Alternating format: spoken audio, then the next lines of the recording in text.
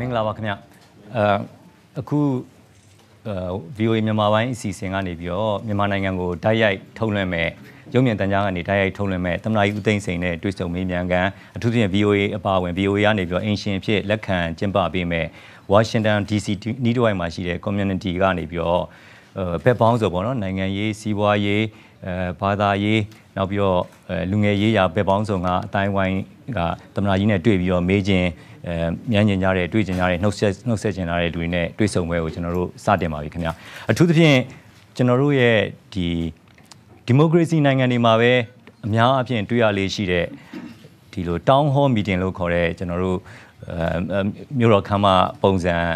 ရင်းနှီးနှီးတွေ့ဆုံပုံဝင်လင်းလင်းတွေ့ဆုံပွဲကိုတမနာကြီးအနေနဲ့လူလလားနဲ့ကျွန်တော်တို့ရှိကိုလာပြီးတော့အခုလိုတက်ရောက်ချင်းမြင်ပေးတာကျွန်တော်ကျေးဇူးတင်ကြောင်းအရင်ပြောပြရစီအလားတူပဲတက်လာတဲ့ ဒီပြည်သက်တွေဆိုလို့ရှိရင်လည်းအဲသမနာကြီးနဲ့တွေ့ဆုံခွင့်ရပြီးတော့အဲ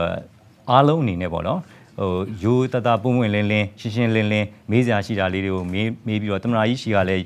ပွင့်လင်းရှင်းလင်းတဲ့အဖြေတွေကိုရနိုင်လိမ့်မယ်လို့ကျွန်တော်ယူဆပါတယ်အဲ့တော့အာအချိန်အကန့်အသတ်ကလေးနည်းနည်းရှိတဲ့အတွက်ကြောင့်မလို့တော့မိကွန်းနေအဲနောက်ပြီးတော့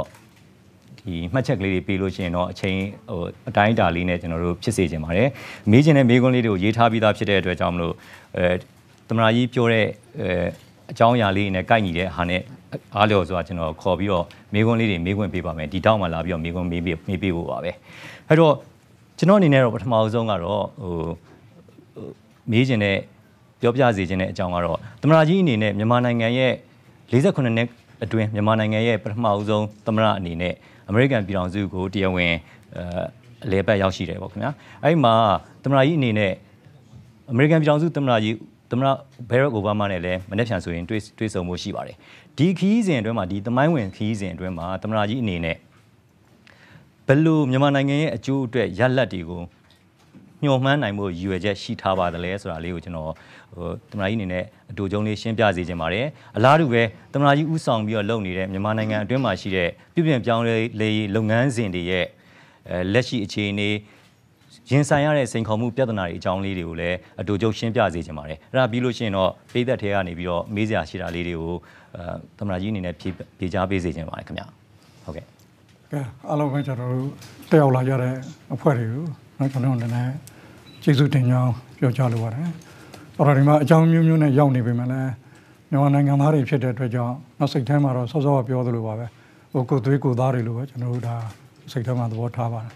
အဲ့တော့ခင်ဗျားတို့နဲ့တွေ့နိုင်အောင်အခုလိုစီစဉ်ပေးခဲ့တဲ့ဒီ VOA ကတာဝန်ရှိတဲ့ပုံကိုယ်တွေလည်းကျေးဇူးတင်ကြောင်းကျွန်တော်ပြောလိုပါတယ်အဲ့တော့စောစောကကျွန်တော်ပြောသလိုပါပဲဒီကျွန်တော်တို့မြန်မာနိုင်ငံနဲ့ဒီအမေရိကန်နဲ့ဆက်ဆံရေးဟာ ကျွန်တော်1948ခုဆိုတော့လွတ်လပ်ရေးတောင်မရသေးပါဘူး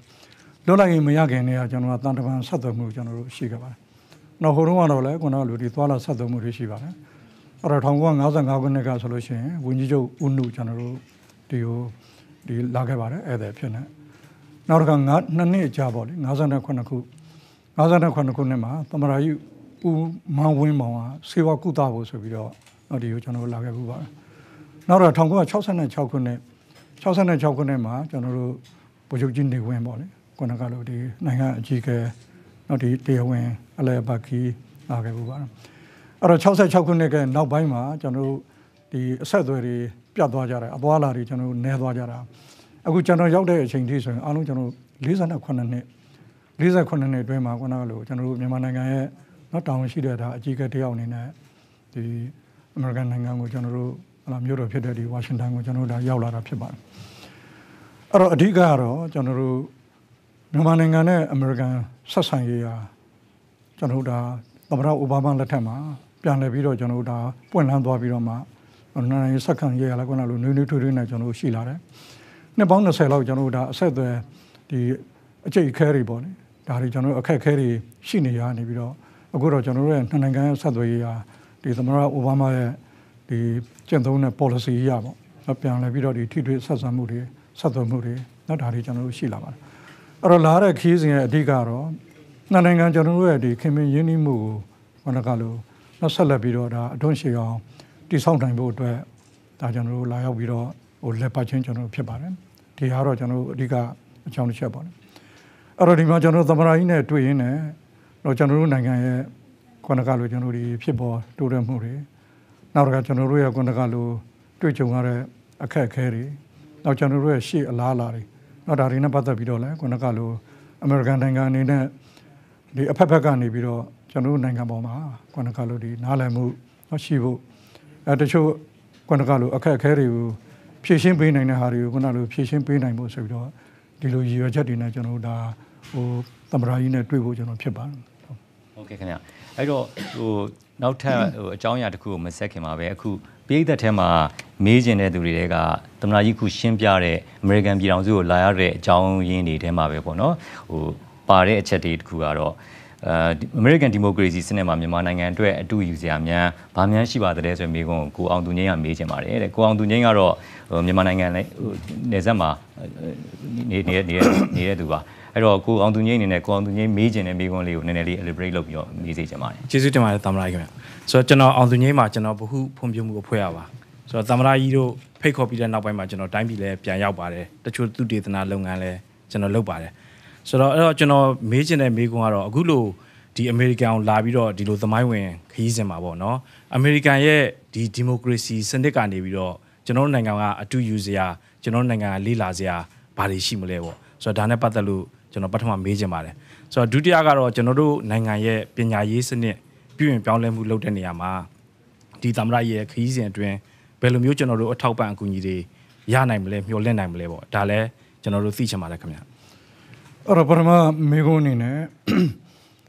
ကျွန်တော်တို့ဒီအမေရိကန်နိုင်ငံကဒီမိုကရေစီကျင့်သုံးလာတာခုနကလိုနှစ်ပေါင်းကျွန်တော်တို့ယာနဲ့ချီပြီးတော့သူကကြာခဲ့ပြီဖြစ်ပါတယ်။နောက်ကျွန်တော်တို့နိုင်ငံအနေနဲ့ပြန်ကြည့်မယ်ဆိုရင်အခုဒီမိုကရေစီစနစ်ကိုကျွန်တော်တို့1948ခုနှစ်မှာ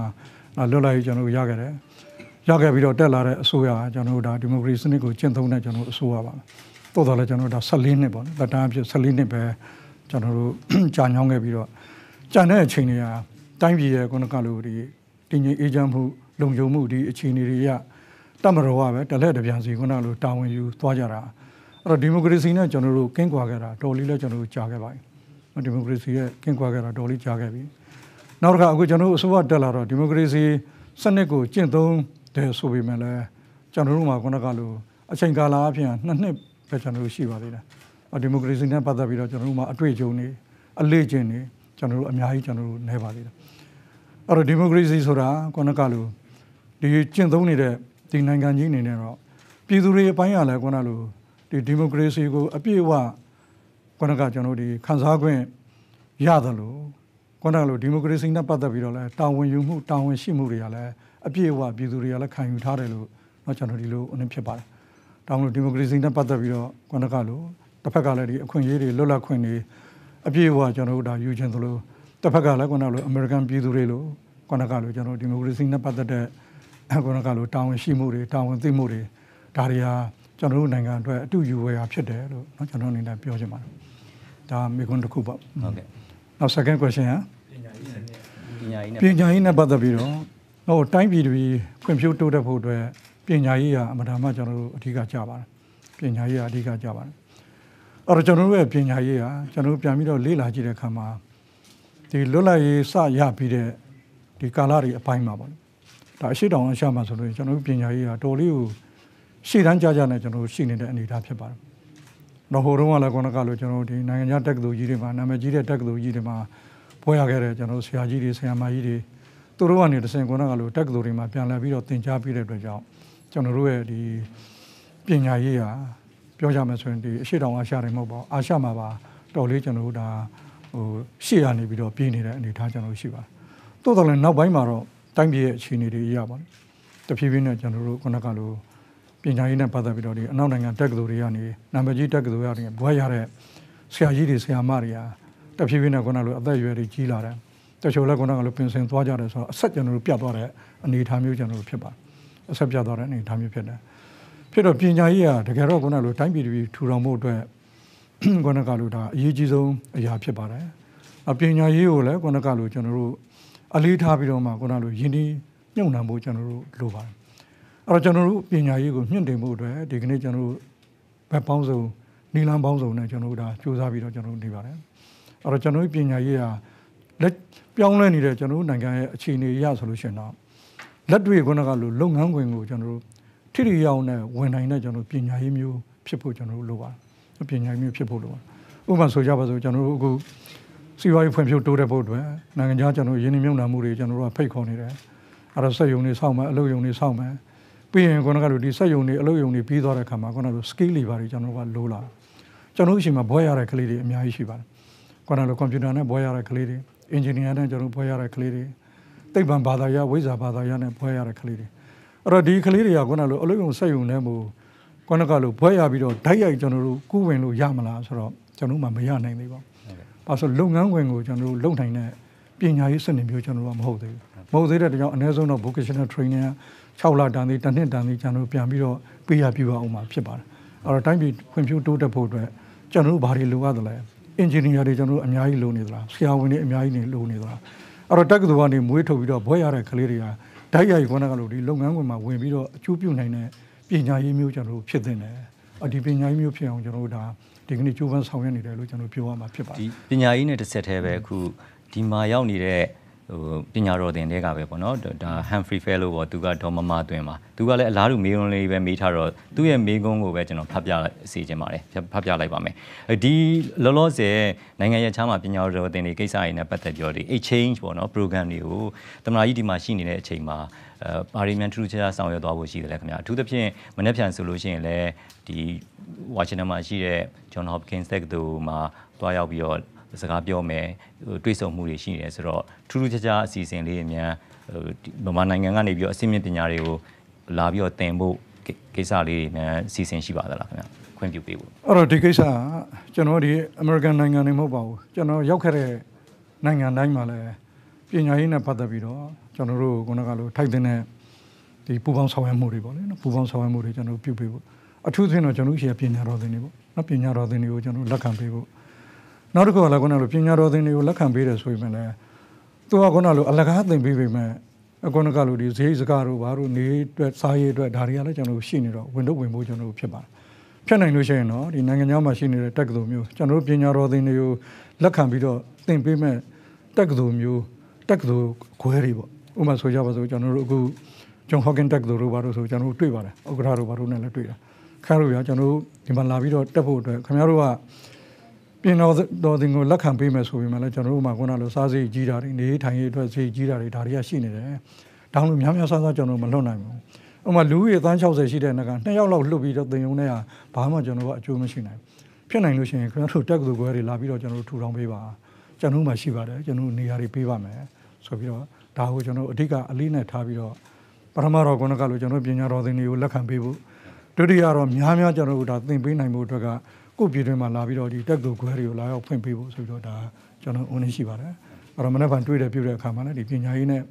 ပတ်သက်လို့ကျွန်တော်တို့ဒါအကြောင်းတိုက်ဆိုင်လာရင်ဟိုဒီကိစ္စကိုကျွန်တော်ပြောမယ်လို့ဒါစိတ်ကူးထားပါတယ်ဟိုသမရာကြီးရဲ့ခီးစဉ်အတွင်းမှာဒါ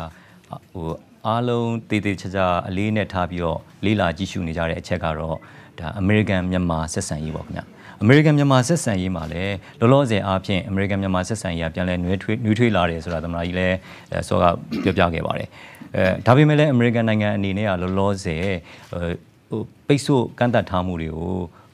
ခြံထားတာလေးရှိနေသေးတယ်ခင်ဗျအကုန်မယုတ်သေးပဲနဲ့အဲ့တော့ဒီကန့်သတ်မှုတချို့ကိုသမရာကြီးရဲ့ခီးစဉ်အတွင်းမှာအဲလွတ်တော်ဘိုင်းကရောဥပဒေချောင်းဘိုင်းကရောအဲကြီးကြီးလေးရုပ်သိမ်းသွားရေးအောင်မြောင်ဆောင်ရွက်သွားနိုင်မယ်လို့ယူဆပါသလားခင်ဗျဦးနင်းကတော့ကျွန်တော်တို့ဒီဆိုင်ရှင်ကိစ္စနဲ့ပတ်သက်ပြီးတော့ဒါခင်ဗျားတို့လည်းအားလုံးကျွန်တော်တို့သိပါတယ်အဲ့တော့ဒီကနေ့ကျွန်တော်တို့ ကျွန်တော်တို့ရဲ့ပြည်သူအများစုပေါ့နော်ပြည်သူအများစုရဲ့တူညီတဲ့ဆန္ဒကျွန်တော်နှစ်ခုရှိပါတယ်တစ်ခုကတော့ကျွန်တော်တို့တိုင်းပြည်တည်တည်ငြိမ်ငြိမ်အေးချမ်းချမ်းနဲ့တရားဥပဒေစိုးမိုးတဲ့ကျွန်တော်တို့နိုင်ငံဖြစ်ဖို့အတွက်ဒါလူတိုင်းကကျွန်တော်ဆန္ဒကျွန်တော်ဖြစ်ပါတယ်အဲ့တော့ဒီဟာကလည်းနိုင်ငံရေးနဲ့သက်ဆိုင်ပါတယ်အဲ့တော့နိုင်ငံရေးရပြုပြင်ပြောင်းလဲမှုတွေလည်းပြည်သူလူထုရဲ့ဒီဆန္ဒပုံမှာမူတည်ပြီးတော့နိုင်ငံရေးတည်ငြိမ်အောင်เนาะဒါတွေကျွန်တော်တို့ကျွန်တော်တို့ရဲ့နိုင်ငံရေးလုပ်ငန်းစဉ်မှာအားလုံးကျွန်တော်တို့ပါဝင်နိုင်အောင်ဒါတွေကျွန်တော်တို့စူးစမ်းပြီးတော့လုပ်ပေးနေပါတယ်ဒီ ဦးနေနေအချင်းသားတွေဒါလှုပ်ပေးတာပြုတာအစပေါ့နောက်တစ်ခုကလည်းဒီနှစ်ပေါင်း60ကျော်လောက်ကျွန်တော်တို့ရှိကြခဲ့တဲ့လက်နက်ကိုင်ပြိပက္ခလက်နက်ကိုင်ပြိပက္ခနဲ့ပတ်သက်ပြီးတော့ကျွန်တော်တို့ရဲ့ပြည်သူတွေဟာအမှန်တမ်းမှကိုခုနကလိုကျွန်တော်တို့ဒါညှင်းဝေနေကြပါတယ်တချို့မြို့ကြီးတွေအတွင်းပိုင်းကြတဲ့မြို့ကြီးတွေမှာမသိတာပေမဲ့လည်းနေဆက်ဒေသတွေမှာဒီဒုက္ခတွေကကျွန်တော်ခါးစီးပြီးတော့ခံနေရတာပါ။ဒါကိုငြိမ်းချမ်းရေးကိုကျွန်တော်လိုချင်နေကြပါပဲ။အဲ့တော့ငြိမ်းချမ်းရေးလိုချင်တဲ့အတွက်ကြောင့်ကွန်တကလိုဒီလက်နက်ကင်ပြိပက္ခတွေချုပ်ငင်းဖို့အတွက် နော်ငြိမ်းချမ်းရေးတည်ဆောက်ရေးကိစ္စတွေလည်းကျွန်တော်တို့ကြိုးပမ်းဆောင်ရွက်နေတာဒါခင်ဗျားတို့လည်းကြားပါတယ်ခင်ဗျားတို့လည်းကျွန်တော်သိပါတယ်နောက်တစ်ခုကတော့ခုနကလိုဒီမိုကရေစီရှင်သန်ဖို့အတွက်တိုင်းပြည်ခုနလိုတည်ငြိမ်အေးချမ်းဖို့လုံခြုံဖို့တရားဥပဒေစိုးမိုးဖို့လိုအပ်တယ်လို့ပဲတစ်ဖက်ကလည်းခုနလိုလူမှုစီးပွားရေးတွေဖွံ့ဖြိုးတိုးတက်ဖို့ကကျွန်တော်တို့ဒါလိုအပ်ပါတယ်လူမှုစီးပွားရေးဖွံ့ဖြိုးတိုးတက်ဖို့အဲ့တော့စီးပွားရေးဖွံ့ဖြိုးတိုးတက်ရင်ပဲလူမှုရေးကလည်းထက်ချက်မှာကကျွန်တော်လိုက်ပါလာတာဖြစ်ပါတယ်အဲ့တော့စီးပွားရေးဖွံ့ဖြိုးတိုးတက်တယ်ခုနလိုအလုပ်ကိုင်းတွေကျွန်တော်တို့ရတယ်အလုပ်ကိုင်းရတဲ့အတွက်ကြောင့်ဝင်ငွေတွေရလာတယ် ဝင်ငွေတွေရတဲ့အတွက်ကြောင့်ခုနလိုနေနိုင်တယ်စားနိုင်တယ်ဟာလာကလေးတွေကိုကျွန်တော်တို့ကြောင်းထားနိုင်တယ်နေထိုင်မကောင်းဖြစ်လို့ရှိရင်ခုနကလိုစေဝါကျွန်တော်တို့ကုသနိုင်တယ်အဲ့တော့စီးပွားရေးနဲ့လူမှုရေးကဒုံတွဲပြီးတော့ကျွန်တော်တို့ဒီလိုပါလာပါတယ်အဲ့တော့တိုင်းပြည်မှာကျွန်တော်တို့စီးပွားရေးကိုထိထိရောက်ရောက်ဖြစ်ဖြစ်မြတ်မြတ်ဖြစ်အောင်ထူထောင်ဖို့ကြတော့ကျွန်တော်တို့မှာလိုအပ်ချက်တွေရှိနေလိုအပ်ချက်ကတစ်ချက်ကဘာလဲဆိုရင်ကျွန်တော်တို့မှာယင်းနှိမ့်မြုံနှံမှုအရင်နေ့ကျွန်တော်တို့မှာလုံလုံလောက်လောက်မရှိဘူးနော်ပြည့်ပြည့်စုံစုံမရှိဘူးနောက်တစ်ခုကတော့ဒီနည်းပညာပိုင်းပေါ့ဒီ နည်းပညာပိုင်းနဲ့ပတ်သက်ပြီးတော့လည်းကျွန်တော်ကဒါနောက်ကျနေတယ်တတိယအချက်ကတော့ကျွန်တော်လူဆွမ်းအရင်မြစ်တွေအဲ့တော့လူဆွမ်းအရင်မြစ်တွေကတော့ခင်ဗျားတို့သိတဲ့အတိုင်းပါလေအခုပဲဒီနေရာအနှံ့မှာတက်ကတူတွေထောင်ပြီးတော့မှအခုမှကျွန်တော်တို့ဒါမွေးမြူနေရတဲ့အနေအထားကျွန်တော်ရှိပါတယ်အဲ့တော့အရေးအတွက်တွေကတော့အထိုက်လျောက်ကျွန်တော်ရပြီတော်တော်လည်းဒီအရေးအတွက်တွေကိုခုနလိုအရေးချင်းဖြစ်ပြောင်းလဲပြီးတော့မှကျောင်းကပြီးတာနဲ့ဒီလုပ်ငန်းခွင်ထဲမှာဝင်ပြီးတော့အလုပ်လုပ်နိုင်တဲ့เนาะဒီလိုကျွန်တော်တို့အရေးချင်းတွေပြောင်းလဲဖို့အတွက်ဒါတွေလည်းကျွန်တော်တို့ဒါဆောင်ရွက်နေပါတယ် အဲ့တော့ကျွန်တော်တို့မှာအရေးနည်းမရှိဘူးနောက်နီးပညာနောက်ကျနေတယ်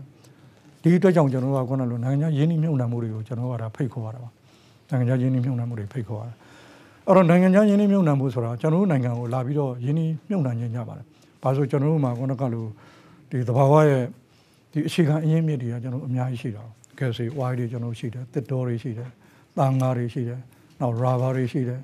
နောက်တစ်ခါခုနလိုစားသုံးကုန်ပစ္စည်းတွေနဲ့ပတ်သက်ပြီးတော့လဲ ဟာလာဒီအစားအသောက်မျိုးစုံကျွန်တော်ထုတ်လုပ်နိုင်တဲ့ကျွန်တော်တို့ရဲ့ဒီလေယာကဏ္ဍเนาะဒါတွေကျွန်တော်တို့ကရှိနေတော့ရင်းနှီးကျင်တဲ့နိုင်ငံတွေကအများကြီးပါလာအခုလည်းပဲခုနလိုဟိုတရချာနီးပါးလောက်ကအများတန်းဒီစီးပွားရေးလုပ်ငန်းရှင်တွေနဲ့ကျွန်တော်တို့ဒါထိတွေ့နေရတဲ့အနေအထားကျွန်တော်ရှိပါအဲ့တော့နိုင်ငံသားကလာရောက်ပြီးတော့ရင်းနှီးမြှုပ်နှံမှုဒီငွေတုပ်ကြီးကိုပိုက်ပြီးတော့ကျွန်တော်တို့နိုင်ငံကိုလာရင်းနှီးမြှုပ်နှံမှုဆိုတာတကယ်တော့ခုနလိုကျွန်တော်တို့နိုင်ငံကိုချစ်လုံးဝကြီးလို့ကျွန်တော်တို့ကခုနလိုဖွံ့ဖြိုးတိုးတဲ့ဆိုကျွန်တော်လာပြီးတော့ခုနလိုရင်းနှီးမြှုပ်နှံတာ မဟုတ်ပါဘူးဒီရွယ်ချက်ကကျွန်တော်နဲပါတယ်အဲ့ဒီကတော့သူတို့အတွက်ဘာအကျိုးရှိမလဲအကျိုးအမြတ်တော့ဘယ်လောက်ရနိုင်ရောလဲနောက်တစ်ခါသူတို့ကိုဘာတွေအကာအကွယ်ပေးမလဲနောက်တစ်ခါသူတို့ရဲ့ခုနကလိုညှို့မှန်းချက်တွေရည်မှန်းချက်တွေကဘာတွေများကျွန်တော်တို့ကရှိသလဲဒါတွေကိုသူတို့ကြည့်ပါအော်တော့ဒါတွေကိုကြည့်တဲ့အခါမှာဘာတောင်းနေလဲဆိုတော့ပထမဦးဆုံးခုနလို investment law ပါ foreign investment law တောင်းအဲ့တော့ foreign investment law နဲ့ပတ်သက်ပြီးတော့ကျွန်တော်တို့မှာဒီဥပဒေဟာဒီ ပတ်ဝန်းကျင်မှာရှိနေတဲ့ရင်းနှီးမြှုပ်နှံခြင်းနဲ့နိုင်ငံတွေနဲ့လိုက်တော့ညီတူကျွန်တော်တို့ကမဖြစ်ဘူးမဖြစ်တဲ့အတွက်ကြောင့်ဒီ foreign investment law ကိုပြီးခဲ့တဲ့နှစ်ကပြန်ပြီးတော့ကျွန်တော်ရေးဆွဲတယ်နိုင်ငံ၄၅6နိုင်ငံလောက်ကိုစံနမူနာယူပြီးတော့မှဒီ law ကိုကျွန်တော်ပြန်ရေးဆွဲတယ်ရေးဆွဲပြီးတော့လွတ်တော်ထဲမှာလည်းအခြေတည်တော်တော်လေးကျွန်တော်တို့ဒါဆွေးနွေးကြပြုကြနေဒီလိုတွေကျွန်တော်လုပ်ရပါတယ်အခုတော့ခုနကလို့ဒီနိုင်ငံခြားရင်းနှီးမြှုပ်နှံမှုဥပဒေဟာကျွန်တော်ပြဋ္ဌာန်းပြီးဖြစ်ပါတယ်ဒီလာရောက်ပြီးတော့ရင်းနှီးမြှုပ်နှံမဲ့နိုင်ငံတွေကလည်းဘာဖြစ်ဒီဥပဒေကိုကျွန်တော်သဘောကျပါတယ် အော်ဒီအခက်အခဲတစ်ခုကတော့ကျွန်တော်ကကြော်လွှမ်းနိုင်ငံတယ်နောက်တစ်ခုခုနလို့လာပြီးတော့ရင်းနှီးမြှုပ်နှံတယ်စိုက်ရုံတွေစောက်တယ်အလုပ်ရုံတွေစောက်တယ်ကုန်ပစ္စည်းတွေထုတ်တယ်ထွက်လာတဲ့ကုန်ပစ္စည်းတွေကိုကနလို့မဝယ်ဘူးမပြစ်ဘူးပိတ်ပင်ထားတယ်ဆိုလို့ရှိရင်ဘယ်လို့မှလာပြီးတော့ယင်းဒီမြုံလာမှာမဟုတ်ပါဘူးအဲ့တော့ဒုတိယအခက်ခဲကတော့ဒီဟာပဲဒါကြတော့ဆိုင်ရှင်နဲ့သွားပြီးတော့ကျွန်တော်ဆိုင်ပါအဲ့တော့ကျွန်တော်ဒီမိုကရေစီကိုလိုလားတယ်မြန်မာနိုင်ငံကလို့ဒီမိုကရေစီစနစ်ရှေ့ကိုဆက်ပြီးတော့ရှင်သန်ဖွံ့ဖြိုးစေချင်တယ်ဆိုလို့ရှိရင်ဒါဒီမိုကရေစီနဲ့ ကလို့နိုင်ငံရေးဒီမိုကရေစီနဲ့စီးပွားရေးကလည်းတစ်ခုနဲ့တစ်ခုကခုနလိုခွင်းဆက်လို့ကျွန်တော်ဖြစ်နေတဲ့အတွက်ကြောင့်မြန်မာနိုင်ငံမှာခုနလိုစီးပွားရေးဖွံ့ဖြိုးတိုးတက်ဖို့အတွက်ခုနကလိုဒါကိုဟာလာဒီစာနာထောက်ထားသိနေနောက်ခုနလိုဒါတွေအခက်အခဲအတားအဆီးတွေကိုဖယ်ရှားပေးသိနေဆိုတော့ဒါလေးကတော့ကျွန်တော်ပြောပြောမယ်ပြောပါမယ်ဟုတ်ဟိုတမရာကြီးဆိုလိုချင်တဲ့သဘောကတော့ဒီမြန်မာနိုင်ငံရဲ့ဖွံ့ဖြိုးတိုးတက်မှုအတွက်အမေရိကန်အပါအဝင်အနောက်နိုင်ငံတွေရဲ့အဲ ပိတ်ဆို့ထားမှုတွေဟာရုပ်သိမ်းဖို့ကအထူးတလဲလိုအပ်နေပြီလိုအပ်နေတဲ့အချိန်မှာလည်းတစ်ဖက်ကလည်းအဲလက်ရှိလုံးစုံမဖြေဖြောက်ပေးနိုင်သေးတဲ့ကိစ္စကမြန်မာနိုင်ငံရဲ့ပြည်ပြင်ပြောင်းလဲမှုအနေအထားတွေပေါ်ကိုပဲသူတို့ကြည့်ပြီးတော့အဲဆုံးဖြတ်နေတယ်ဆိုတဲ့ပုံစံပေါ့အဲ့အဲ့ဆိုလို့ရှိရင်ဗမာပြည်ရဲ့ပြည်ပြင်ပြောင်းလဲမှုလုပ်ငန်းစဉ်တွေမှာတမနာကြီးလည်းအစောပိုင်းကတော့ဟိုပြောပြသွားပါတယ် ဟိုကြုံတွေ့နေရတဲ့အခက်အခဲလေးတွေအတားအဆီးလေးတွေချက်ချင်းမပြေပြောင်းနိုင်သေးတဲ့အချက်ကလေးတွေရှိနေပါတယ်အဲ့ဒါလေးတွေကိုထပ်ပြီးတော့တစ်ချက်လောက်ပြန်ပြောပြပြပါလားအဲ့တော့ကျွန်တော်စောစောကပြောသလိုပါလေကျွန်တော်တို့မှာဒီသက်တမ်းပြည့်နှစ်နှစ်ပဲကျွန်တော်တို့ရှိသေးတယ်ဒါအစိုးရရဲ့တက်တမ်းလွှတ်တော်ရဲ့တက်တမ်းပါလေနောက်ပြည်သူလူထုကလည်းကောလို့ဒီမိုကရေစီစနစ်နဲ့ကင်းကွာလာတာတော်တော်လေးကိုကျွန်တော်တို့ဒါကြာခဲ့ပြီကျွန်တော်ဖြစ်ပါတယ်နောက်အတွေ့အကြုံနေတယ်အလေးချင်းနေနေတယ်အတွေ့အကြုံနေတယ်အလေးချင်းနေနေတဲ့အတွက်ကြောင့်တစ်ချက်ကတော့ကောကလို့ကျွန်တော်ဒီ လွတ်လပ်မှုအခွင့်အရေးပိုင်းနေပေါ့အဲ့တော့လွတ်လပ်မှုအခွင့်အရေးပိုင်းနေလဲကျွန်တော်တို့ကပေးတဲ့သလောက်တွေကျွန်တော်အများကြီးကျွန်တော်ပေးထားတာရှိပါတယ်အဲတချို့ကိစ္စတွေကြတော့လဲဒီကန့်သတ်မှုတွေကျွန်တော်တို့ရှိခဲ့တယ်ပြည်သူ့ဘိုင်းကလည်းခုနလိုတာဝန်ယူမှုတာဝန်ရှိမှုတွေတော့ဒီဘိုင်းနေမှာလည်းခုနလိုဒါသိမှုတွေကကျွန်တော်တို့နေပါသေးတယ်နေပါသေးတဲ့အတွက်ကြောင့်တချို့ကိစ္စတွေမှာလည်းကျွန်တော်တို့ဒါဥပဒေရအရေးယူရတာတွေဆောင်ရွက်ရတာတွေဒါတွေကျွန်တော်တို့ရှိပါတယ်ဒါဟုတ်ပဲခုနလိုလူအခွင့်အရေးဆိုပြီးတော့မှတော့ဒါတွေကိုအကြောင်းပြပြီးတော့မှ ဒီပေါ်မှာလည်းခုနကလိုဒါစောင့်ကြည့်နေတဲ့သဘောထားတွေကျွန်တော်တို့ရှိတယ်လို့ကျွန်တော်တို့ထင်ပါတယ်ခုနကလိုဟုတ်ကဲ့အဲ့တော့ဂျန်နာရီကတော့ကျွန်တော်တို့တတ်နိုင်သလောက်တော့ဒီကျင့်သုံးတဲ့စနစ်နဲ့လိုက်လျောညီတွေဖြစ်အောင်တော့ကျွန်တော်တို့များစွာပြောင်းလဲပြီးတော့ကျွန်တော်တို့ပေးနေတာပါပဲခုနကတော်တော်လည်းပဲတချို့ကိစ္စတွေကဥမာဆိုကြပါစို့ဟိုယုံဖတ်တန်တွေကဖြစ်တဲ့ကိစ္စမျိုးတွေလည်းကျွန်တော်ရှိပါတယ်ဥမာခုနလိုမြောက်ကိုရီးယားလိုနိုင်ငံမျိုးနဲ့ကျွန်တော်ဟလာအနုမြူကိစ္စတွေဆက် ဆက်သွယ်တယ်တို့ခုနကလိုလက်နက်ခဲယမ်းကိစ္စတွေဆက်သွယ်တယ်တို့အဲ့တော့ဒါတွေကလည်း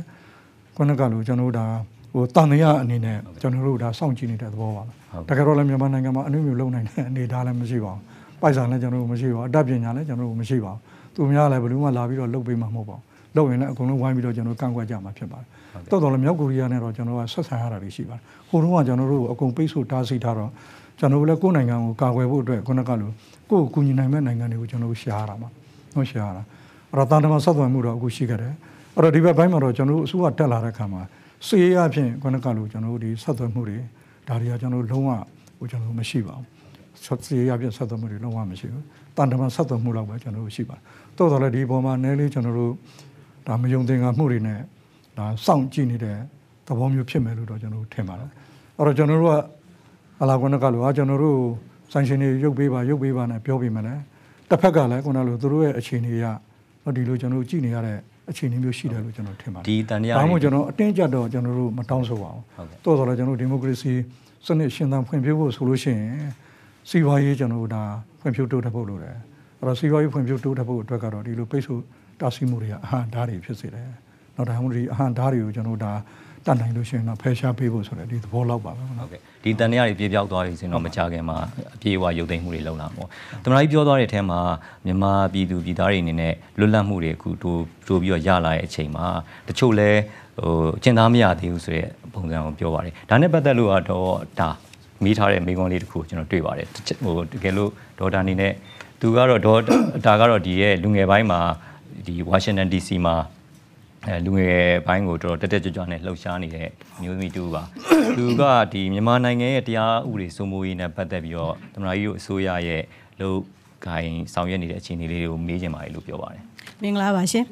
အမ်တမရာကြီးကိုကျွန်မအနေနဲ့မေးချင်တာတမရာကြီးမှာရရှိလက်ရှိအခြေအနေရပါတော့ရရှိထားတဲ့ပါဝါအနေနဲ့ကျမတို့မြန်မာပြည်မှာ2008ဥပဒေဆိုတဲ့လူတစုအတွက် အာဖွဲ့စည်းထားတဲ့အခြေခံဥပဒေကြီးကိုဘယ်တော့ပြင်มาလဲဆိုတဲ့ဟာကိုကျွန်မအနေနဲ့သိချင်ပါတယ်နောက်တစ်ခုကအခုလက်ရှိဖြစ်ပေါ်နေတဲ့အာအခြေအနေပေါ့နော်ဟိုလက်ဘရောင်းတောင်မှာဒီတရုတ်ကိုလိုနီတွေအနေနဲ့တိမ့်ပိုက်နေတဲ့လေယာမြေတွေဘယ်တော့ ဟိုတိမ့်ပိုက်နေမှုတွေကဘယ်တော့ရပ်တန့်မှာလဲအဲ့ဒီရပ်တန့်မှုတွေပေါ်မှာလူလူအနေနဲ့နှိုးကြွလာမှုတွေနဲ့ပတ်သက်ပြီးတော့မှဆန္ဒပြမှုတွေဖြစ်တာလည်းခါမှာရဲဆက်ဆက်တပ်ဖြတ်မှုတွေဖြစ်လာတဲ့ဟာကိုမျက်လှည့်ပြတဲ့အနေနဲ့ကျမတို့ဟာဒီနေ့ပဲဟိုနောက်ပါလို့ဆိုလို့ရှိရင်တော့ဒီဖဲရင်အရေးခင်ကစနစ်ပြပါတော့မယ်ဒီဖဲရင်ကိုလောက်ကြံခဲ့တဲ့လူတစုအနေနဲ့အာကျမတို့ဒီမြန်မာပြည်သူလူထုတွေကိုကလားနဲ့လှည့်တိုက်ပြီးတော့မှဘာသာရေးအထီးကယုံတွေလုံနေတဲ့ဟာကိုတမရာကြီးအနေနဲ့ဘယ်လိုများဖြည့်ရှင်းပေးနိုင်မလဲဆိုတာအရေးယူပေးနိုင်မလဲဆိုတာကျွန်မသိချင်ပါတယ်အဲ့တော့ဒီမိကုန်းနဲ့ပတ်သက်ပြီးတော့နော်ဟိုတချို့ကိစ္စတွေကလည်းဟိုတစ်ဖက်ကကျွန်တော်တို့အမြင်ပဲကျွန်တော်တို့ဖြစ်ပါတယ်နော်တစ်ဖက်ကအမြင်ဆိုတော့ဒါအလုံးစုံတော့ပညာတော့မှားမယ်ပေါ့လေဥမာအဖြစ်ခုနကလိုကျွန်တော်တို့ဒီဝလုံးတစ်လုံးလို့ပေါ့ဝါလုံးတစ်လုံးကိုတစ်ဖက်တည်းကကြည့်လို့ရှိရင်တော့ဒါဝက်ချမ်းမှကျွန်တော်တို့မြင်နေမှာဒီဘက်ကကြည့်ရင်လည်းဝက်ချမ်းမှမြင်နေမှာပဲနှစ်ဖက်လှည့်ပတ်ကြည့်လိုက်လို့မှကြည့်လိုက်တဲ့အခါကျမှဒီကဝလုံးပါလားဆိုတာတော့ဒီလိုကျွန်တော်တို့ဒါသိရမှာဖြစ်ပါတယ် အဲ့တော့ဖွဲ့စည်းပုံအခြေခံဥပဒေကလူတစုအတွက်မဟုတ်ပါဘူးလူအများကျွန်တော်ထောက်ခံထားတဲ့ထောက်ခံအတည်ပြုထားတဲ့ဖွဲ့စည်းပုံအခြေခံဥပဒေဖြစ်ပါတယ်။နောက်ဖွဲ့စည်းပုံအခြေခံဥပဒေဆိုတာလည်းတာမဏိစီးနှင်းမဟုတ်ပါဘူး။ပေါ့ခတ်ထားတဲ့ခုနလိုတာမဏိဟိုနေမျိုးမဟုတ်ပါဘူး။သူ့မှာပြင်ဆင်နိုင်တဲ့ amendment ကျွန်တော်တို့ဒါပေးထားပြီးသားဖြစ်ပါတယ်။နောက်ပြင်ဆင်နိုင်တဲ့ amendment ကျွန်တော်တို့ပါပြီးသားဖြစ်ပါတယ်။အဲ့တော့ဖွဲ့စည်းပုံအခြေခံဥပဒေကိုပြင်ဆင်မယ်ဆိုလို့ရှိရင်ဒီ amendment တိုင်းသူ့မှာလုံထုံးလုံနည်းတွေရှိပါတယ်အော်ဒီလုံထုံးလုံနည်းတွေအတိုင်းကျွန်တော်တို့ဒါပြင်ဆင်လို့ကျွန်တော်တို့ရပါတယ်ခုနက နော်ဒီဟာတစ်ချက်ပေါ့လေခုနကနောက်တစ်ခါလက်ဘရောင်းအောင်ကိစ္စနဲ့ပတ်သက်ပြီးတော့နော်လက်ဘရောင်းအောင်ကိစ္စနဲ့ပတ်သက်ပြီးတော့ခုနကလိုကျွန်တော်တို့ဒီဆန္ဒပြနိုင်တဲ့အခွင့်အရေးတွေဒီနိုင်ငံတော်ကနေပြီးတော့မှခုနလိုတရားဝင်ဥပဒေနဲ့ကျွန်တော်ပြဋ္ဌာန်းပေးထားတာဖြစ်ပါတယ်အဲ့တော့တစ်ဖက်ကလည်းခုနကလိုဒီဥပဒေနဲ့အညီနော်ဒါတွေကကျွန်တော်တို့ပြဖို့ပြုဖို့ကျွန်တော်တို့ဟလာလိုပါတယ်နောက်တစ်ခုကလည်းဒီကိစ္စတွေဟာအမှန်တော့ပြောကြမယ်ဆိုလို့ရှိရင်တော့ဒါကျွန်တော်တို့အစိုးရပေါ်ပေါက်လာပြီးတော့မှဟိုဒီကိစ္စနော်ကျွန်တော်တို့ဒါဖြစ်လာတာမဟုတ်ပါဘူးဒါအရင်တုန်းကစာချုပ်စာတမ်းအရလုပ်ခဲ့ပြုခဲ့ကြတဲ့ကိစ္စကျွန်တော်တို့ကတော့ဝင်ပြီးတော့ခုနလိုဖြည့်ရှင်းပေးတဲ့သဘောပဲကျွန်တော်တို့ကျွန်တော်တို့ဖြစ်ပါတယ်အော်ဒီမှာခုနလိုရဲရဲဆဲနဲ့တပ်ဖြတ်တဲ့ဘာညာဒါတွေကလည်းခုနကလို intentionally ကျွန်တော်တို့လုပ်တာပြတာမဟုတ်ပါဘူးရဲရတော့ခုနကလိုဒီတရားဥပဒေထိန်းသိမ်းရတာတကဘာလုံးမှာကျင့်သုံးနေတဲ့လုံရုပ်လုံစင်ခုနကလိုကျွန်တော်တို့ဒါထိန်းသိမ်းနည်းတွေနဲ့ပဲသူကထိန်းသိမ်းရတာဖြစ်တာတိုးတော်လည်းမမျော်လင့်မနဲ့ခင်ဗျားတို့ကြားတဲ့အတိုင်းပဲခုနလိုဘုန်းကြီးယဟန်နေဒါကျွန်တော်လည်းဗုဒ္ဓဘာသာတယောက်ပါ ဟလာဘုန်းကြီးယဟန်ကိုကျွန်တော်တို့ဒါအများရန်ဒါရှ िख ိုးဥခိုင်နေတဲ့ဦးနေပါပဲခုနဒီဦးနေကနေရလဲဒီတိုင်းပါပဲခုနဘုန်းကြီးယဟန်နေနဲ့ပတ်သက်ပြီးတော့ဒီလိုဖြစ်ချင်တဲ့ဆန္ဒတွေကျွန်တော်တို့မရှိပါဘူးတိုးတော်လည်းဒီမမျော်လင့်မနဲ့အခက်မသိမနဲ့ဒီလိုဖြစ်ပြသွားတဲ့ကျွန်တော်တို့ကိစ္စမျိုးပါပဲခုနကအဲ့တော့ Facebook အခြေခံဥပဒေနဲ့ပတ်သက်ပြီးပြန်ပြောရမယ်ဆိုရင်ကျွန်တော်ပြင်နိုင်ပါတယ်အမှန်ပဲကျွန်တော်တို့ရှိတယ်အဲ့တော့လူတစုအတွက်ဆိုတော့ဒါဆွဆွဲတာပဲကျွန်တော်တို့ဖြစ်ပါတယ်ဘာကြောင့်လဲဆိုလို့ရှိရင်ဒါ ရာဂိုင်နှုန်းအဖြစ်ကျွန်တော်တို့ပြောလို့ရပါတယ်ပြည်သူလူထုဘယ်လောက်ကနေထောက်ခံထားတယ်ဆိုတာ Facebook အခြေခံဥပဒေရဲ့ပထမဒုတိယစာမျက်နှာတွေမှာကျွန်တော်တို့ဒါပါပြီးကျွန်တော်တို့ဖြစ်ပါတယ်တိုးတော်လည်းဒါတာမဏိကျွန်တော်စီမင်းမဟုတ်ဘူးတောက်ခတ်ထားတာမဟုတ်ဘူးအမှန်ပဲကျွန်တော်ပေးထားတယ်ခုနကလူတွေလွတ်တော်ကကျွန်တော်တို့ပြင်နိုင်တယ်ပြည်သူကကျွန်တော်တို့ပြင်နိုင်တဲ့အနေအထားကျွန်တော်တို့ရှိပါတယ်ကျွန်တော်ဖြည့်ဆွက်မေးချင်တာလေးတခုကတော့ဒီဖွဲ့စည်းအုပ်အုပ်ချုပ်ပုံအခြေခံဥပဒေကိုပြုပြင်ရေးနဲ့ပတ်သက်လို့ပေါ့နော် အဲလာမယ့်2015ခုနှစ်မှာဆိုလို့ရှိရင်လည်းနောက်ထပ်ရွေးကောက်ပွဲတစ်ခုစပါတော့မယ်ဒီနေရာမှာမြန်မာနိုင်ငံရဲ့ဒီ2008ခုနှစ်ဖွဲ့စည်းပုံအခြေခံဥပဒေနဲ့ပတ်သက်လို့လူအများထောက်ပြနေကြတဲ့ဟိုကိစ္စတစ်ခုကတော့ဒီလွှတ်တော်ထဲမှာအဲစစ်တပ်က25ရာခိုင်နှုန်းပါနေတဲ့ကိစ္စပေါ့နော်အဲဒီကိစ္စကိုပြန်လည်ပြီးတော့ဟိုတုံးတက်ဖို့ပြင်ဆင်ဖို့လဲလွှတ်တော်ထဲမှာဆွေးနွေးနေကြတာတွေတင်ပြလာတာတွေလည်းကျွန်တော်တို့ကြားရပါတယ်ဒါပေမဲ့ဒီကိစ္စနဲ့ပတ်သက်လို့သမနာကြီးတို့ရဲ့အစိုးရဘိုင်းရဲ့ သဘောထားကရောဘယ်လိုရှိပါသလဲဆိုတော့ကျွန်တော်သိချင်ပါတယ် ။ဦးနေပေါ့ဗျာ။ဟိုကျွန်တော်တို့တက်မတော်နဲ့ပတ်သက်ပြီးတော့เนาะဒါတွေခင်ဗျားတို့လည်းသိပါတယ်။အဲ့တော့စပြီးတော့ခုနလိုလောလာကြီးခုနလိုကျိုးပန်းနေရဘုချုပ်အောင်ဆန်းခုနလိုတက်မတော်ရဲ့ခေါင်းဆောင်တူပါဘုချုပ်အောင်ဆန်းဒီတက်မတော်ကိုကျွန်တော်တို့ဖွဲ့ပေးလိုက်ပြီးတော့မှဒီတက်မတော်နဲ့ပြည်သူလူထုနဲ့ပေါင်းပြီးတော့မှလွတ်လပ်ရေးရအောင်ခုနလိုကျိုးပန်းဆောင်ရွက်ခဲ့တာဖြစ်ပါတယ်။အဲ့တော့ကျွန်တော်တို့ရဲ့တမိုင်းကြောင်းမှာတက်မတော်ကခုနလိုအစင်လာရှိခဲ့တဲ့ကျွန်တော်အဖွဲ့အစည်းတစ်ခုဖြစ်ပါတယ်။ နောက်ဒီဘက်ပိုင်းမှာလည်းလွတ်လပ်ရေးနဲ့အတူကျွန်တော်တို့ဒါဟာလာပေါက်ဖွာလာတဲ့ဒီလူမျိုးစုကျွန်တော်တို့ဒါလက်နက်ကိုင်ပြိပခါတွေအဲ့တော့တိုက်ပြည်ရောက်ကတော့စူးစူးပူပူဖြစ်ပြီးတော့ဒါဟိုတော့ဆိုရင်ဟာလာအစိုးရတောင်မှရန်ကုန်မျိုးလေးကွက်ကွက်ပဲရန်ကုန်အစိုးရဆိုပြီးတော့တောင်မှဒီလိုကျွန်တော်တို့ဟာလာဒီဟိုပြောတာဆိုတာခံရတာတွေရှိပါတယ်အဲ့တော့တိုင်းပြည်ကကလို့ကျွန်တော်တို့ဒီတောင်းကြမှုအန်ဒီရတွေနဲ့ခုနလိုဒီဟာလာဒုက္ခဒုက္ခတွေရောက်နေတဲ့အချိန်မှာတော့တမတော်ကပဲဝင်ပြီးတော့မှဒီအခက်အခဲတွေအကြက်တဲတွေတော့ဒါတွေကိုခုနလိုဝင်ပြီးတော့ဖြည့်ရှင်း ဆောင်ရွက်ပေးတဲ့အနေနဲ့ရှိပါတယ်အဲ့တော့ကျွန်တော်ပြောနေတာတော့ကျွန်တော်တို့တမတော်ဟာကျွန်တော်တို့ရဲ့တမိုင်းကြောင်းအခြေအနေကတခြားနိုင်ငံတမတော်တွေနဲ့ဟိုတူချင်မှကျွန်တော်တို့တူမယ်ပေါ့လေတူချင်မှတူမယ်အဲ့တော့လွတ်လပ်ရေးကြိုးပမ်းမှုတမိုင်းမှာလည်းခုနလိုပြည်သူနဲ့ပူးပေါင်းပြီးတော့မှကျွန်တော်တို့ဒါဆောင်ရွက်ခဲ့တာတွေရှိတယ်တိုင်းပြည်မှာအခက်အခဲအကြက်တဲတွေကြုံတွေ့လာတဲ့အခါမှာလည်းခုနလိုတမတော်ဟာဟာလာသူကြာရအခန်းကဏ္ဍနေပြီးတော့ပါဝင်ပြီးတော့ဆောင်ရွက်ပေးခဲ့တာကျွန်တော်တို့ရှိပါတယ်အဲ့တော့ဒါကမြန်မာနိုင်ငံကြီးမှာခုနလိုတမတော်ကိုကျွန်တော်ပြစ်ပယ်ထားလို့တော့မရဘူးလို့ကျွန်တော်ဒီလိုထင်ပါတယ် နော်ပြစ်ပယ်ထားလို့မရပါဘူးပြည်သူနဲ့ပေါင်းပြီးတော့ဘာပဲဖြစ်ဒီအခန်းကဏ္ဍတရားအနေနဲ့တော့သူကလည်းခုနလိုဆောင်ရွက်နေရမှာပဲကျွန်တော်တို့ဖြစ်ပါတယ်အဲ့တော့ဒီလွတ်တော်ထဲမှာပါနေတယ်ဆိုတဲ့ဟာနော်လေးပုံတစ်ပုံကျွန်တော်တို့ပါနေတယ်ဆိုတာဒါကျွန်တော်တို့အမှန်ကျွန်တော်တို့ဖြစ်ပါတယ်အဲ့တော့နိုင်ငံရေးလုပ်ငန်းစဉ်မှာခုနလိုတမတော်ကလည်းပါဝင်ခွင့်မရှိဘူးလို့ဒီလိုပြောလို့ရတယ်လေဒါတော့ကျွန်တော်တို့ဒါမမှန်ဘူးလို့ကျွန်တော်ထင်ပါတယ်ခုနကကျွန်တော်တို့တွေမဟုတ်ပါဘူးတဖြည်းဖြည်းနဲ့ခုနလိုရင့်ကျက်လာတဲ့အမြဒီလွတ်တော်တွေက ခုနကလိုဒီတမတော်ရဲ့ကိုယ်စားလှယ်တွေကလည်းတဖြည်းဖြည်းနဲ့ဒါဟာလာဒီယောဘာသွားမှာပဲကျွန်တော်ဖြစ်ပါတယ်အင်ဒိုနီးရှားတို့ဘာလို့ပြောင်းစားလဲဒီတိုင်းမှာပဲခုနကလိုအဲ့တော့တမတော်ကခုနလိုနိုင်ငံကြီးနဲ့ကျွန်တော်ကင်းကွာလို့တော့မရဘူးအစင်လာကျွန်တော်ရှိခဲ့ပါတယ်တမိုင်းကြောင်းရှိခဲ့ပါတယ်တိုင်းပြည်မှာအခက်အခဲတွေအကြတဲ့တွေတွေ့တိုင်းတွေ့တိုင်းတမတော်ကခုနကလိုဝင်ရောက်ပြီးတော့ပါဝင်ဆောင်ရွက်ခဲ့တာတွေကျွန်တော်ရှိပါတယ်အဲ့တော့25ရာခိုင်နှုန်းဒီခုနကလိုလောလောဆယ်အချိန်တွေမှာတော့ခုနလိုရှိသင်ရှိလိုက်တယ်တိုးတော်လဲခုနလိုတဖြည်းဖြည်းနဲ့တော့ဒါတွေကကျွန်တော်တို့ ဟာလာဒီရော့ပါလာမယ်နဲပါလာမယ်လို့တော့ကျွန်တော်ဒီလိုပဲမြင်မိပါတယ်မြန်မာနိုင်ငံမှာလှုပ်ဆောင်နေတဲ့ဒီအဲပြုပြင်ပြောင်းလဲရေးကိစ္စတွေမှာအမတန်အပြူသဘောဆောင်တဲ့အကြောင်းအရာတွေအပေါ်ကိုတစ်ခါတစ်ခါလွှမ်းမိုးလာတဲ့အမဲဆက်တွေရှိပါတယ်ဟိုရုပ်ဆိုးအကြီးတန်းတဲ့ကိစ္စအရာမျိုးတွေပေါ့နော်အထူးသဖြင့်အဲဒီရခိုင်ပြည်မှာဖြစ်ခဲ့တဲ့ကိစ္စမျိုးဘာသာရေးနဲ့နဲ့ပတ်သက်တဲ့အထီးကယုံတွေပေါ့နော်ဒီကိစ္စတွေနဲ့ပတ်သက်လို့ကဒါဟိုတိုင်းပြည်တွေရဲ့တိုးတက်နေတဲ့ အပြူဘောဆောင်နေတဲ့အခြေအနေတွေကြားထဲမှာလက်ညှိုးထိုးစရာအခြေအနေမျိုးဖြစ်နေတယ်ဆိုတော့ဒီကိစ္စနဲ့ပတ်သက်ပြီးတော့ဘာသာရေးအကြောင်းအရာနဲ့ပတ်သက်ပြီးတော့မေးဖို့ဆိုပြီးတော့ဆိုပြတာဥဝင်အောင်ရှိပါတယ်ဥဝင်အောင်အနေနဲ့ထားပြီးတော့မေးနိုင်ပါတယ်ဥဝင်အောင်ကတော့စောပိုင်းကဟိုကျွန်တော်တို့ VOA ရဲ့ဌာနကဒီအဲဝန်ထမ်းဟောင်းပါပဲ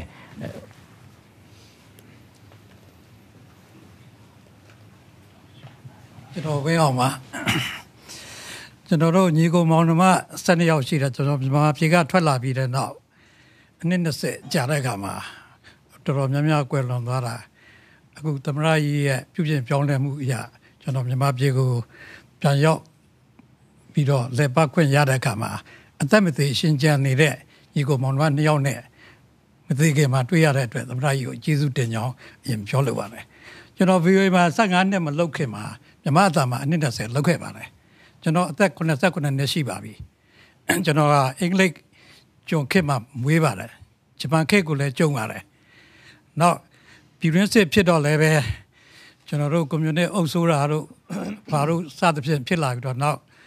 ကျွန်တော်မြမသားမှာအနည်း20လောက်တဲ့အခါမှာအိမ်ဆောင်ဆိုရစသဖြင့်နောက်ဆုံးခေတ်အဆက်ဆက်ကိုကျွန်တော်ကြုံခဲ့ပါတယ်ကျွန်တော်စာရေးဆရာပါသတင်းစာဆရာပါနှစ်ပေါင်း90ကျော်ကလောင်ကင်ခဲ့တဲ့လူပါ အဲ့တော့ကအခု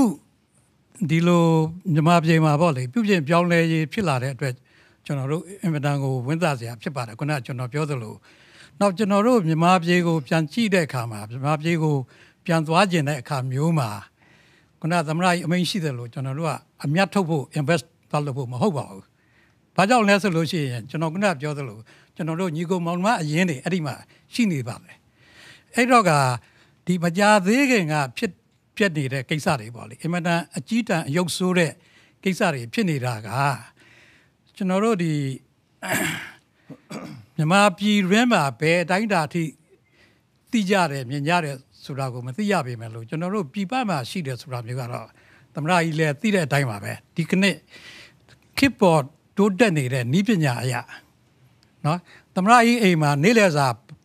ဘာတိုးစရာနဲ့ဘာဟင်းနဲ့စားလဲဆိုတာကိုတော့မှသိလို့မြင်လို့ရတယ် အခြေအနေမျိုးဖြစ်သွားပါပြီခင်ဗျာကျွန်တော်တို့ရဲ့ဟိုဘာသာရေးနဲ့ပတ်သက်တဲ့ဥဝင်အောင်အဲ့ဒီကမှာမေးပေးပါဒီလိုဘာသာရေးအကြီးတန်းအယုတ်ဆိုးတဲ့ဖြစ်ရပ်တွေကိုပြင်ပမှာမြင်နေရတဲ့အတွက်ကဒီသမရကြီးဥဆောင်တဲ့ပေါ့လေဒီပြုပြင်ပြောင်းလဲရေးကိုအင်မတန်အကြီးတန်းအယုတ်ဆိုးစေပါတယ်အထူးသဖြင့်ဒီမုံဒီရေးကိုဖန်တီးနေတဲ့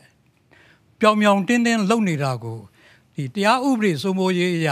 ဘယ်လို့မှဘာကြောင့်အရေးမယူလဲဆိုတာကကျွန်တော်က ကျွန်တော်ကအစ္စလာမ်ဘာသာကိုးကွယ်တဲ့မွတ်စလင်တယောက်ပါမွတ်စလင်တယောက်အနေနဲ့လည်းကျွန်တော်တော်တော်စိတ်မကောင်းဖြစ်ပါတယ်မြန်မာပြည်မှာမွေးတဲ့လူတယောက်အနေနဲ့လည်းဝင်းနေပါတယ်နောက်အနည်း90ကျော်သတင်းသမားတယောက်အနေနဲ့လည်းပဲကျွန်တော်အံ့ဩမိပါတယ်ကျေးဇူးတင်ပါတယ်အဲ့ဒါကိုဘလို့အရေးယူမလဲဆိုတာကိုကျွန်တော်သိချင်ပါတယ်မေးခြင်းတဲ့သဘောတော့ကျွန်တော်နားလဲတာကတော့ကျွန်တော်နားလဲတာကတော့ဒီဟိုလက်ရှိမုံဒီရေးတွေလှုံ့ဆော်နေတဲ့ဟာတွေကိုဘာကြောင့်အရေးမယူသလဲအရေးယူမှုရှိသလားဆိုတာလေးကိုသိချင်တယ်မိပါပါကျွန်တော်ပြောရမယ်ဆိုတော့ကျွန်တော်တို့ရဲ့အခု ပြုပြင်ပြောင်းလဲမှုတွေပေါ့လေနိုင်ငံရေးအရကျွန်တော်တို့ပြုပြင်ပြောင်းလဲမှုတွေလုပ်တယ်နောက်တစ်ခါကျွန်တော်တို့စီးပွားရေးအရပြုပြင်ပြောင်းလဲမှုတွေလုပ်တယ်အဲ့တော့ခုနကလိုအောင်မြင်မှုတွေလည်းကျွန်တော်တို့ဒါအထိုက်လျောက်ကျွန်တော်တို့ရပါတယ်အောင်မြင်မှုတွေအထိုက်လျောက်ရတယ်လို့ပဲခုနကလိုအခက်အခဲတွေစိန်ခေါ်မှုတွေဒါတွေလည်းကျွန်တော်တို့တွေ့ရပါတယ်အဲ့တော့ဒီရခိုင်မှာဖြစ်ပျက်တဲ့ကိစ္စတွေကခုနကလိုဒီဟိုနေပေါ့လေဖြစ်ရိုးဖြစ်စဉ်ခုနကလိုထပြီးတော့ဖြစ်ကြတဲ့ပုံစံမျိုးကျွန်တော်မဟုတ်ပါဘူး ရာဇဝတ်ပြစ်မှုတစ်ခုပေါ်မှာမူတည်ပြီးတော့မှလူအုပ်စုတစ်စုနဲ့တစ်စုကွာနကလိုရိုက်ကြနှက်ကြမီးရှို့ကြနဲ့အကြမ်းဖက်ရာနေပြီးတော့မှဒီလိုကျွန်တော်တို့ကြီးထွားလာတဲ့ကိစ္စကျွန်တော်ဖြစ်ပါတယ်အဲ့တော့ဒီရန်နဲ့ပတ်သက်ပြီးတော့ကျွန်တော်တို့ဒါစုံစမ်းစစ်ဆေးကော်မရှင်ကျွန်တော်တို့ဖွဲ့ပါတယ်ဖွဲ့ပြီးတော့စုံစမ်းစစ်ဆေးကော်မရှင်မှာကျွန်တော်တို့ဥပကဒေါက်တာဟိုနင်းကကျွန်တော်တို့ပါပါတယ်အော်ဒီကိစ္စနဲ့ပတ်သက်ပြီးတော့ဒေါက်တာဟိုနင်းနည်းလေးဖြည့်ပေးလိုက်ပါကွာနကလိုနော်အဓိကကျွန်တော်တို့ခုနကပြောသွားတဲ့အပိုင်းမှာကျွန်တော်တို့ရခိုင်ပြည်နယ်မှာလည်းဖြစ်ခဲ့တယ် အပြင်မှာလည်းဖြစ်ခဲ့တယ်ဆိုတော့ဟိုအကျွန်တော်အချိန်ရတော့ကျွန်တော်အများကြီးတော့တေချာချာတော့မပြောတော့ပါဘူးတိုးတော့ဟအပေါ်ဒီခြုံပြီးပြောမယ်ဆိုလို့ရှိရင်ဟိုတစ်ဖက်နဲ့တစ်ဖက်နားလည်မှုတွေရောပါနေတာတွေနောက်ပြီးကြတဲ့အခါမချင်တဲ့ချက်တွေမုန်းတိမှုတွေရှိနေတာကဒီကျွန်တော်မြန်မာပြည်မမှာရောပြည်ရခိုင်ပြည်နယ်မှာ တော်တော်ကြာကြာရှိနေပြီးသားပါပြည်ရင်ပြောင်းလဲမှုတွေလုပ်တဲ့အပိုင်းတွေမှာရှိလာတဲ့အခါပွင့်လာတဲ့အခါမှာစိတ်ထဲကမချင်တဲ့မှုတွေကိုပို့ပြီးပြလာတဲ့အပိုင်းတွေရှိတော့ဒီကျွန်တော်ဖြစ်သွားတဲ့ရာဇဝတ်မှုတွေပေါ်မှာမူတည်ပြီးတဲ့အခါမှာရခိုင်ပြည်နယ်မှာ community level မှာပဲအဓိကဖြစ်ခဲ့တာပါတရားရင်းနဲ့ပတ်သက်လို့ကျွန်တော်တို့ report ကိုလည်းကျွန်တော်တို့လူပေါင်း2000ကျော်လောက်ကို interview လုပ်ပြီးမှကျွန်တော်တို့ရေးခဲ့ပြီးဖြစ်ပါတယ်။ဒါနဲ့ပတ်သက်လို့လည်း online မှာအင်္ဂလိပ်လိုရောမြန်မာလိုရောရပါမယ်။အဓိကပြောချင်တာကတော့ကျွန်တော်တို့ဘာလဲဆိုတဲ့အခါဒီမချင်တဲ့မှုတွေမုန်းတိမှုတွေကအရန်များလာတဲ့အခါမှာ အခွင့်အရေးယူပြီးတဲ့အခါကြားတဲ့အခါမှာဖြစ်လာတဲ့မြောက်ထိုးပင့်ကော်မှုတွေကလည်းအများကြီးပါလာတယ်။အဲဒီပါလာတဲ့အပိုင်းတွေကအခြေအနေတွေကိုပို့ပြီးစိုးသွားစေတာပါ။နောက်ဒီအစိုးရအနေနဲ့ကအရေးယူမှုမပြုဘူးဆိုတဲ့အပိုင်းမှာကအဲ့ဒါတော့မဟုတ်ပါဘူးခင်ဗျမေထီလာမှာပြီးပြီးတဲ့ချိန်မှာလည်းအရေးယူမှုတွေအများကြီးလုပ်ပါတယ်ရခိုင်မှာလည်းကျွန်တော်တို့ကဒီအရေးယူမှုတွေနဲ့ပတ်သက်ပြီးကျွန်တော်တို့ကတော့ commission အနေနဲ့ကအားလုံးကိုကြည့်ခွင့်ရတဲ့အတွက်အရေးယူမှုတွေကဒါအများကြီးလုပ်ထားပါတယ်နောက်ဆုံးတစ်ခုအနေနဲ့ကျွန်တော်ပြောချင်တာက ဒီအစိုးရအနေနဲ့ဘာမှလုပ်မထားဘူးဆိုတာဆိုတာနဲ့ပတ်သက်လို့ကကျွန်တော်အခုလောလောဆယ်မှာ interfaith dialogue တွေကိုတနိုင်ငံလုံးအတိုင်းအတာနဲ့လုပ်ဖို့လုပ်နေပါတယ်ကျွန်တော်တို့ဒီရခိုင်ရခိုင်ပြည်နယ်နဲ့ပတ်သက်ပြီးလို့ရခိုင်ပြည်နယ်တည်ငြိမ်ရေးနဲ့ဖွံ့ဖြိုးတိုးတက်ရေးကော်မတီကနေဒါတွေကိုလုပ်နေပါတယ်ကျွန်တော်တို့ကအခုရခိုင်ကော်မရှင်လုပ်ငန်းပြီးတော့ဒီကိစ္စတွေမှာပါဝင်ခဲ့တဲ့လူအနေနဲ့ဆက်ပြီးတော့လုပ်နေတဲ့ကော်မရှင်တွေကိုကျွန်တော်တို့အကြံပြုပြီးအကြံပေးနေတဲ့ဝင်ပြီးကူညီနေတဲ့ချိန်မှာ ဒီ interfaith dialogue ဆက်ရန်ကုန်မှာလည်းလုပ်နေပါတယ်ရခိုင်မှာလည်းအဲ့ဒီအဖွဲ့တွေကကျွန်တော်တို့အစ္စလမ်ဘာသာဝင်တွေဗုဒ္ဓဘာသာဝင်တွေအတူသွားပြီးတဲ့အခါဒီကိစ္စတွေကိုခြေခြေပြတ်မှန်လုပ်ဖို့အတွက်ကဝိုင်းပြီးလုပ်နေကြပါပြီဟုတ်ကဲ့အားလုံးကျေးဇူးတင်ပါတယ်ကျေးဇူးတင်ပါကဲတယ်ကိုကိုတန်းလွန်တွေဟုတ်ကဲ့ခင်ဗျပြောပါဟိုနေမှာဟုတ်ကဲ့ဟိုကျွန်တော်တို့နယ်လေးခွန်းလို့ပါဟိုဟိုနေအစီအစဉ်တစ်ခုကျွန်တော်ရှိနေလို့နော်ကြံတဲ့မေးခွန်းတွေကိုဒီမှာဖြေမဲ့ပုံကိုယ်တွေရှိပါတယ်ဟုတ်ကဲ့ခုနကလိုကြံတဲ့ဘာပဲမေးမေးဒီမှာဖြေနိုင်တဲ့ပုံကိုယ်တွေကျွန်တော်ရှိပါဟုတ်ကဲ့အားလုံးပဲကျွန်တော်တို့ခွင့်လို့ပါကျွန်တော်မှအစီအစဉ်လေးတစ်ခုရှိနေလို့ ဟုတ်ကဲ့ခင်ဗျကဲကျေးဇူးတင်ပါတယ်တမန်ဒီဟာလေးတစ်ချက်လောက်ဖြုတ်ပြပါဦးဟိုကျန်တဲ့ဟိုပြည်သက်အနေနဲ့ခဏလေးနေပြီးလို့ကျွန်တော်ဆက်ပေါ်လုပ်လို့ရတယ်လေဒီဟာလေးတစ်ချက်လောက်ဖြုတ်ပြပါဦးကဲခင်ဗျားတို့ကြိုက်တာမေးနိုင်ပါလားဟုတ်ကဲ့တမန်ကြီးကျေးဇူးတင်ပါတယ်ခင်ဗျကျန်တဲ့လူတွေလည်းခင်ဗျားတို့ကျင်းထားထားတယ်မြန်မာနိုင်ငံကတော့ခုနကလိုဒီ US citizen ကိုကျွန်တော်တို့ဟာလာဥပဒေအရတားမြစ်ထားတာရှိတယ်တော်တော်လည်းပဲကျွန်တော်တို့က PR စနစ်နဲ့ကျွန်တော်တို့လုပ်ပေးလို့ရပါတယ် PR စနစ်ကိုကျွန်တော်တို့အခုဒါဟလာဒါဟို ဟိုအနည်းအနေနဲ့ဥပဒေတရားအနေနဲ့ကျွန်တော်တို့ပြဋ္ဌာန်းနိုင်ဖို့အတွက်ကျွန်တော်တို့လုပ်နေပါတယ်။အော်ဒီကာလာအတွင်းမှာလည်းကျွန်တော်တို့ကအာကျွန်တော်တို့တော့လာပြီးတော့စီးပွားရေးရရင်းနှီးခြင်းနဲ့မြုပ်နှံခြင်းနဲ့ဟိုဆရာဝန်ပဲဖြစ်ဖြစ်ပညာအောင်နေပညာရေးကဏ္ဍပဲဖြစ်ဖြစ်ကျန်တဲ့စီးပွားရေးကဏ္ဍပဲဖြစ်ဖြစ်တော့ကျွန်တော်တို့ကြိုးစိုးနေပါတယ်ခုနကလိုအခက်အခဲပါညာရှိလို့ရှိရင်ကျွန်တော်တို့ပြောရင်ကျွန်တော်တို့ဒါအတတ်နိုင်ဆုံးလုပ်ပေးပါမယ်ခုနကျွန်တော်ထင်ပါတယ်ဟိုကျန်တဲ့သဘောထားတွေကတော့ကွဲပြားခြားနားမှုတွေရှိခြင်းလည်းရှိမှာပါပဲ တော်တော်လည်းမြန်မာနိုင်ငံသားကတော့ဘယ်နိုင်ငံပဲရောက်နေရောက်နေကိုယ့်နိုင်ငံကတော့ချစ်တဲ့စိတ်ကတူညီတဲ့စိတ်တော့ကျွန်တော်တို့ရှိတယ်ဟုတ်တယ်မလားဒီစိတ်ကတော့တူညီတယ်ပေါ့လားကဲကောင်းပြီကျွန်တော်ကြီးခီးစဉ်အောင်မြင်ပါစေခင်ဗျဟုတ်ပြီဦးကြီးဟိုမှာမရှိတော့လားအဲ့ဆိုရင်ကျွန်တော်တမန်ကြီးရဲ့ VOA အာရှအစီအစဉ်ကမ္ဘာလောကသတင်းတွေကိုတင်ဆက်ပေးနေပါတယ်။ထိတ်တန်းသတင်းတွေရေးပါသူတွေအကြောင်းအားလုံးကိုပို့ပြီးနားလည်လာစေဖို့ အားလုံးနဲ့ဆက်ဆက်နေတဲ့သတင်းတွေကမ္ဘာစက်ကုန်ကြီးပေါ်ကအထင်ရှားဆုံးဂီတနဲ့နုပညာရှင်တွေဟောလိဝုဒ်နဲ့ရုပ်ရှင်ပိတ်ကားနောက်ွယ်ကသတင်းတွေဘဟုတုတတွေကိုကဘာကြီးနဲ့မိတ်ဆက်ပေးပါရစေ။ American ပြည်သူတွေရဲ့အကြောင်းပို့သိဖို့သူတို့ရဲ့ယဉ်ကျေးမှုသူတို့ရဲ့ဘာသာစကားကမ္ဘာကြီးနဲ့ဆက်ဆက်ပေးနေတဲ့ VOA အာရှအစီအစဉ်